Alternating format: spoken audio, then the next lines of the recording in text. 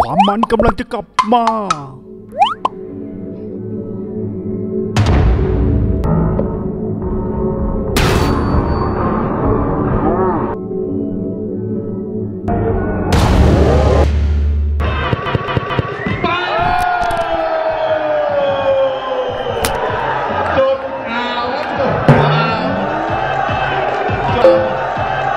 Run it up. Don't test me. Yeah.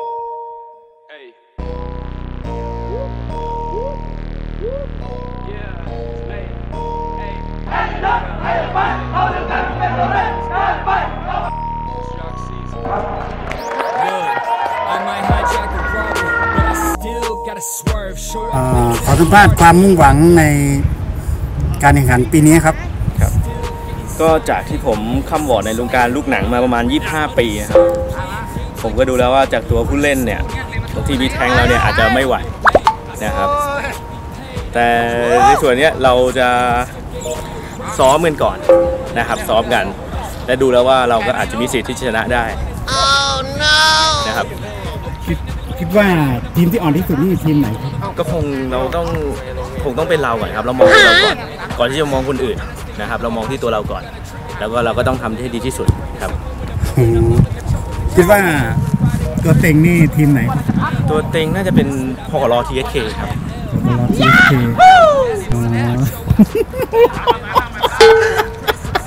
โอ้ไม่ต้องพูด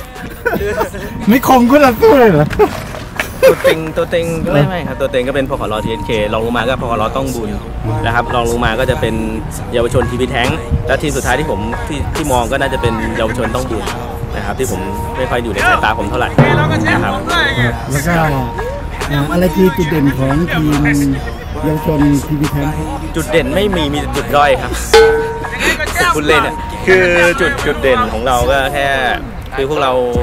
มีคนน้อย แต่เราก็มากันเยอะมากันทุกครั้งที่มีการซ้อมมีอะไรนะฮะถึงจะปากเปียกปากแฉะนิดนึงนะฮะแต่ก็มามากันมาซ้อมกันนะครับอ่าแล้วความพร้อมแค่ไหนครับแล้วก็ความพร้อมของเรานี่คือนักกีฬาพร้อมครับทีมผู้สนับสนุนที่ดีแล้วก็พร้อมมาก เราขออะไรก็ให้หมดนะครับนะครับ แล้วก็ ในส่วนต่างๆ ระยะเวลาเนี่ยเหลืออีกมาอีกสองอาทิตย์เราก็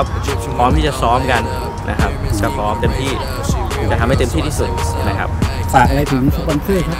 ก็ขอขอบคุณนะครับเฮียนัทนะครับ แล้วก็พี่หมูพี่เอกพี่ยาวนะครับ แล้วก็ช่างต้อที่ให้การสนับสนุนนะครับ แล้วก็ทีมงานทุกท่านอื่นๆนะครับ ที่คอยเชียร์เรานะครับ ดูดูฟอร์มการซ้อมของผู้แข่งเป็นไงครับหยอดแย่ครับหยอดแย่ หยอดแย่กางงงกางแงงครับผมครับผมครับแล้วก็ขอบคุณมากนะครับผมครับครับสวัสดีครับผม This is not a game, bitch. Get off my turf.